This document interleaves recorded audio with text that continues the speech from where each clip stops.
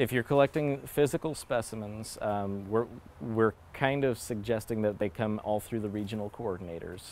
Um, we have supplies that we can hand out, um, but if you collect them and either put them in acetone or um, in your freezer to preserve them, make sure you keep all of the kind of uh, collection information, the loca location, the time of the day, sometimes helpful, put the collector's name, who identified it, that sort of information. For beginners, it's better if they take photographs.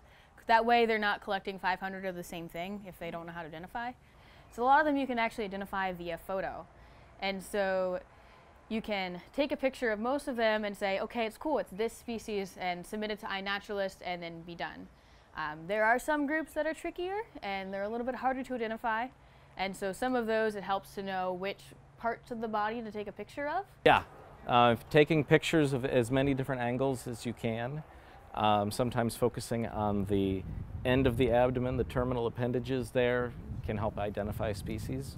And then those pictures just get put on iNaturalist and uh, experts from around the world can identify them you go in, it's a free, it's a free website you can, you can join and you just set up an account, you upload a photo, you can select your location and then um, it's actually got a pretty neat algorithm now that you click on the name box and if your internet's fast enough, it uses uh, like facial recognition software to identify it, at least get close. Mm -hmm. It'll tell you, most of the time it'll tell you like the group that it's in.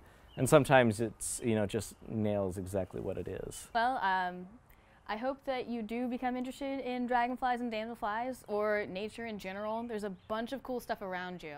You don't have to go chase it. It's, it's right in your own backyard. Even in the inner city, if you live in the city, there are saddlebags that'll fly around your car and, and you won't have water for miles and you still have these really cool things.